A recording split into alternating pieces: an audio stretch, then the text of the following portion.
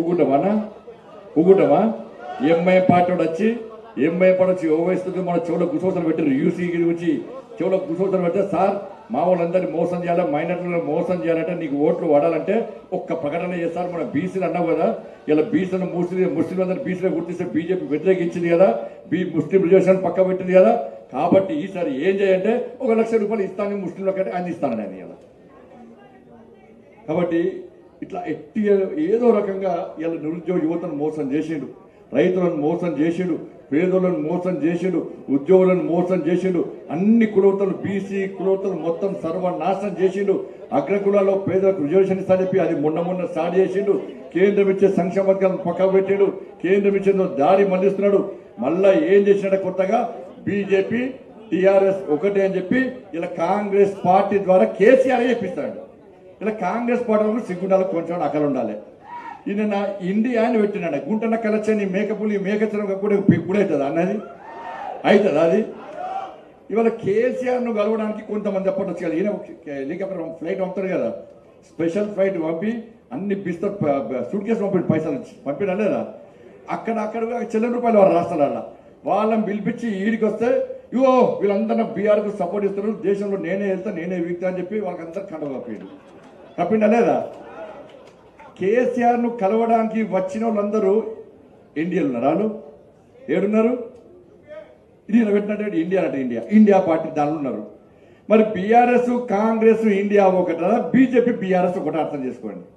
కేసీఆర్ను కలవడానికి వచ్చినటువంటి అందరూ కూడా కేసీఆర్కు మద్దతు అందరూ కూడా ఇలా కాంగ్రెస్ పార్టీ కూటమిలో భాగస్వామ్యం తప్ప కేసీఆర్ను కలవడానికి వచ్చినప్పుడు కేసీఆర్ అని భారతీయ జనతా పార్టీ ఎన్డీఏలో భాగస్వామ్యం కాదన్న విషయాన్ని తెలంగాణ సమాజం గుర్తుంచుకోవాలి. పెద్ద డ్రామా ఆడుతున్నారు బీజేపీ బీఆర్ఎస్ కూడా అని. బై బీఆర్ఎస్ మీద ఎన్నికల్లో గెలిచింది భారతీయ జనతా పార్టీ. బీఆర్ఎస్ మీద కొట్లాడేది Bharatiya Janata party. BRS arrest చేయించేది భారతీయ జనతా పార్టీ కార్యకర్తలను. బీఆర్ఎస్ పార్టీ పోలీసుల ద్వారా లాఠీ చార్జ్ చేయించేది భారతీయ జనతా పార్టీ కార్యకర్తల మీద విషయాన్ని తెలంగాణ సమాజం గుర్తుంచుకొని కేవలం అధ్యక్షుడు మారనే బండి సంజయ్ కాదన్న. బండి సంజయ్ ముఖ్యం కాదన్న. పార్టీ ముఖ్యమన్నా బండి సంజయ్ ఉంటేనే పార్టీ ఉండాలి. బండి సంజయ్ ఉంటేనే పార్టీ ఉండాలి. బండి సంజయ్ లేకుండా పార్టీ అంటే మనంత ద్రోహులెత్తరన్న భారతీయ జనతా పార్టీ కార్యకర్త కమిట్మెంట్ అన్న. సిద్ధాంతం కోసం పనిచేసే కార్యకర్తలు. వస్తారు పోతారు. నాయకులు ముఖ్యం కాదన్న. భారతీయ జనతా నాయకులు ముఖ్యం. కార్యకర్తలు ముఖ్యం. పార్టీ సింబల్ ముఖ్యం మాకు సింబల్ ముఖ్యం. అరే మీరందరూ కష్టపడితేనే అందరం గెలుస్తామన్నా? బండి సంజయ్ పోయి పోలి బూట్లో ప్రచారం చేయాలని? బండి సంజయ్ పోయి ప్రచారం చేయాలని? పోలి బూట్లో పోయి? నరేంద్ర మోడీ గారు ప్రచారం చేయలేను? నరేంద్ర మోడీ మోడీ గారు ఒక ఆదర్శమూర్తి మనందరూ కూడా. మోడీ గారి ఫోటోతో ఓట్లు కొట్టాయన్న మోడీ గారి ఫోటోతో గెలిచిన మన కార్యకర్తలు కష్టపడితే గెలిచినాం. మేము ఇవ్వడం పోలింగ్ బూత్లకు వచ్చి పోలింగ్ బూత్లకు వచ్చి మాకు ఓటేనని చెప్పలేను మేము అందరం కూడా? ఒక మండల హెడ్ క్వార్టర్కి వచ్చి మీటింగ్ పెట్టాం మాకు తెలిసిన విషయాలు చెప్పినాం. ఒక గ్రామ హెడ్ క్వార్టర్కి వచ్చి మీటింగ్ పెట్టాం మాకు ఓటేమని చెప్పినాం. కానీ పోలింగ్ బూత్స్లో ప్రతి ఓటర్ కలిసి కమలం పువ్వు గుర్తు మీద ఓటేమని చెప్పినటువంటి కార్యకర్తలే కార్యకర్త నిజమైన కార్యకర్తలు మీ ఎవరు కూడా చాలా మంది ఇక్కడ కార్యకర్తలు అందరూ సిద్ధాంత కోసం పార్టీ కోసం పనిచేస్తారు. చాలా మంది కూడా ఎమ్మెల్యే వాళ్ళు ఎవరికి లేదు. ఎంపీలు కావాలి మీకు ఎవరికి లేదు. మీకున్నదల్లా ఈ తెలంగాణ రాష్ట్రంలో ఈ మూర్ఖత పోలను అంతమందించిన ఏకైక లక్ష్యంతో మీరు మీకున్నదల్లా ఈ నమ్మిన సిద్ధాంతం కోసం అనేక మంది కార్యకర్తలు బలిదానం అయిపోయారు.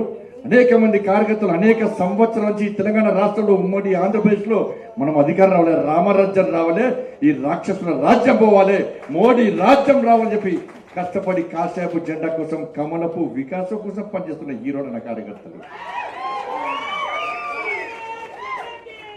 నేను చాలా నాయకులు చెప్తున్నా. సరే నా మీద ఫిర్యాదు చేస్తే చేసిన ఇబ్బంది లేదు కనీసం ఇప్పటికైనా చెప్తున్నాను. కార్యకర్తలు చాలామంది సిద్ధాంతం కోసం ఒక ఆశయం కోసం పనిచేస్తున్నారు కూడా.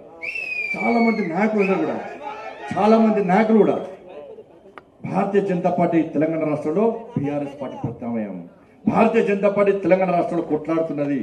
భారతీయ జనతా పార్టీ తెలంగాణ రాష్ట్రంలో రామరాజ్యం రాబోతుందని చెప్పి భావించి ఒక లక్ష్యం కోసం మేము కూడా ఎమ్మెల్యే కావాలి. భారతీయ జనతా పార్టీ ద్వారా మాత్రమే ఎమ్మెల్యే కావాలి. కాంగ్రెస్ పార్టీ ద్వారా బీఆర్ఎస్ పార్టీ ద్వారా కాదు మోడీ రాజ్యం తెలంగాణ రాష్ట్రం రావాలంటే అలాంటి మోడీ పార్టీలో భారతీయ జనతా పార్టీలో మాత్రమే ఎమ్మెల్యేలు కావాలని చెప్పి చాలా మంది నాయకులు కూడా భారతీయ జనతా పార్టీలో చేరారు. మంచి ఆలోచన వాళ్ళందరూ కూడా. కానీ కార్యకర్తల లక్ష్యం పార్టీని నమ్మి వచ్చినటువంటి ఆ నాయకుల లక్ష్యాన్ని దయచేసి నాశనం చేయకండి. ఫిర్యాదు ఇచ్చుడు పనిచేయరన్న ప్లీజ్. తప్పు రిపోర్టులు పనిచేయరన్న ఢిల్లీకి పోయి ఫిర్యాదు చూడు తప్పు రిపోర్ట్ వచ్చి కార్యకర్తల యొక్క నమ్మకం వచ్చిన నాయకులు నా బతుకులు నాశనం చేయకన్నా. కనీసం కిషన్ రెడ్డి గారు నన్ను ప్రశాంతంగా పనిచేస్తున్నాను కిషన్ రెడ్డి గారు ప్రశాంతంగా పనిచేయండి. కిషన్ రెడ్డి గారు నమ్మిన సిద్ధాంతం కోసం పనిచేసిన నాయకుడు కిషన్ రెడ్డి గారు. భారీ కార్యకర్తల కష్టాలను తెలుసు. ఈ తెలంగాణ రాష్ట్రంలో ప్రజల బాధలను తెలుస్తున్న కిషన్ రెడ్డి గారికి? ఇలా అలాంటి కిషన్ రెడ్డి గారి యొక్క నాయకత్వంలో గతంలో పనిచేసినటువంటి కార్యకర్తలు చాలా మంది నేను కూడా పనిచేసిన కిషన్ రెడ్డి నాయకత్వంలో. లక్ష్మణ్ గారి నాయకత్వంలో ఎంపీగా గెలిచామన్న నలుగురం మేము. నలుగురం ఎంపీలో గెలిచామన్నా ఇటువంటి సిద్ధాంతం గల పార్టీ తెలంగాణ రాష్ట్రంలో భారతీయ జనతా పార్టీ. అటువంటి పరిస్థితుల్లో తెలంగాణ రాష్ట్రంలో మనం అధికారం రావాలన్నా తెలంగాణ రాష్ట్రంలో మనం అధికారం రాకుంటే మళ్ళా బీఆర్ఎస్ పార్టీ అధికారం రాదన్న కాంగ్రెస్ పార్టీ అసలే రాదన్న కాంగ్రెస్ పార్టీ వచ్చేది మనమే తప్పుడు పత్రాలు దయచేసి నమ్మకండి.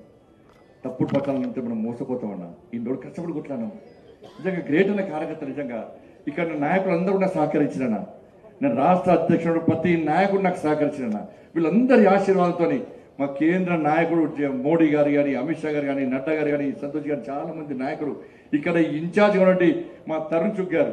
తరుణ్ చుగ్ గారు కానీ సునీల్ బన్సల్ గారు కానీ శివప్రకాష్ జీ కానీ అదేవిధంగా అరవింద్ మీనన్ గారు కానీ ఇట్లా అనేక మంది నాయకులు జాతీయ నాయకత్వం అదేవిధంగా రాష్ట్ర నాయకులు అందరూ కూడా మనందరి మీ అందరి సహకారంతో మీ అందరి ఆశీర్వాదంతో మీ అందరి కష్టపడ్డ కష్టాల ఫలితంగా ఈ తెలంగాణ రాష్ట్రంలో పేద ప్రజల యొక్క ఆశీర్వాద ఫలితంగా ఇవాళ నాకు నాకు మాత్రం తృప్తి ఉందని నేను కష్టపడి పనిచేసిన తృప్తి మాత్రం నాకు ఉందన్న. చాలా వేరే ఉంటుందన్న. అది తప్ప వేరే మనకి ఏముంటుందో కష్టపడి ఒక బాధ్యత తీసుకున్నప్పుడు కష్టపడి పని చేయాలి ఒక లక్ష్యం ఎంచుకున్న. తెలంగాణ రాష్ట్రంలో అధికారం రావాలి. అధికారం కోసం కాదన్న ఈ తెలంగాణ రాష్ట్రంలో ఈ కుటుంబ పాలన ఈ అవినీతి పాలన ఈ నయా రజాకార్ల పాలన నయా నిజాం పాలన అంతమందించాలే. ఈ తెలంగాణ రాష్ట్రంలో మెజార్టీ ప్రజలు ఇబ్బంది పడుతున్నారు. ఈ తెలంగాణ రాష్ట్రంలో భారతీయ జనతా పార్టీ కార్యకర్తల మీద దాడులు జరుగుతుందని చెప్పి భావించే కార్యకర్తలను కాపాడుకోవాలి. ఈ తెలంగాణ రాష్ట్రంలో పేద ప్రజలను కాపాడుకుని ఏకైక లక్ష్యంతో మాత్రమే కష్టపడి పనిచేసామన్నా. నిన్ననే బయటకు వచ్చిన గజ్వేల్ కార్యకర్తలు నిన్ననే. ఫోన్ చేసి మాట్లాడన్నా.